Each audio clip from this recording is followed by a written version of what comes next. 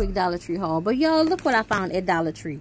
Some Ardell Aqua Lashes. They say you can just dip it in water and activate it.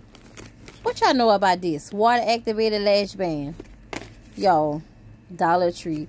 I got three of them. All the lashes I got, and I still got that. But I had to see. I got to see if they work, y'all.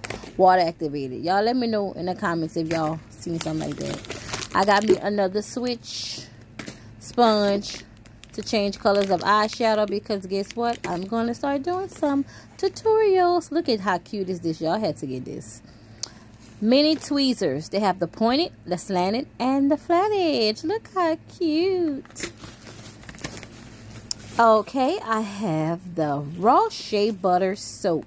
Gently moisturized. So, it compared to the Shea Moisture Raw. The raw um shea butter. So, I'm going to use it. I hope it's good. Okay. I got these little elastics. I like these because it's something like a mini headband. But it goes for your ponytails. And I heard some good things about this little glue. It's black. We'll see. I got this edge control from Softee. It's a perfect edge control, tame and texturized. I hope it don't leave my edges. Look, y'all. They ain't gave me a full thing. They jacked me. It's Dollar Tree. But it's a dollar twenty-five. I can't complain. But I hope it don't be all oily. We'll see. It's not. They have all olive oil and aloe. It's not. That's what my daughter says. It's not good. Look. I got my little treat. Look, my little treat, y'all. My Ritz peanut Oh, butter. wait. It's very soft. I forgot about that. It is oily. Yep, I know it's the oily.